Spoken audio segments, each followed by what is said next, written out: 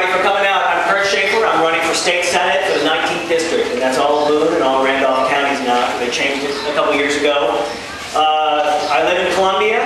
I moved there in 1983. I was married there 18 years ago. All three of my kids were born there. They're the public schools there. And every decision that we make, my wife and I, is for our kids.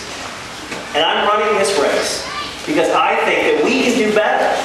All of us in this district can do better for ourselves in Jefferson City. And we can do that by knowing how to negotiate and knowing how to cooperate when we can to get things done. I started, I am a lawyer. I guess I'm who was referred to earlier as the lawyer. And I'm very proud to be a lawyer. I started my legal career as a prosecutor, as an assistant attorney general. And I went all over this state prosecuting criminal cases, including capital murder cases. I've been there in the courtroom with the families when they've recounted for juries horrible that no family should ever have to go through. But somebody had to do that job. And I'm proud to say that I was the lawyer that did that job. Every day I represent clients.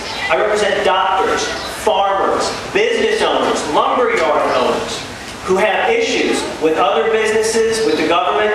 I help them solve their problems. That's what I do.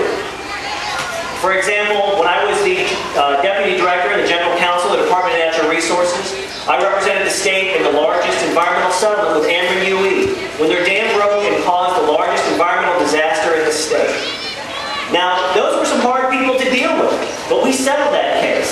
The biggest environmental settlement in this state's history, we did it in under two years, when normally a case like that would go on for 12 or 15 years. And it was not easy, but I couldn't put my hands over my ears and say, I'm not talking to you, I don't like you, I don't like your position. There are hard times when you have to negotiate, and you have to know, you have to sit in a room with, thank you, with people that you don't necessarily agree with. But for your client, you've got to get done what you need to get done. And when I'm in Senate, I will know exactly how to do that. How to cooperate when there needs to be cooperation, when there needs to be professionalism, so we can have hope and we can solve the problems that for the last four years have not been solved. Public education, healthcare, we can do it.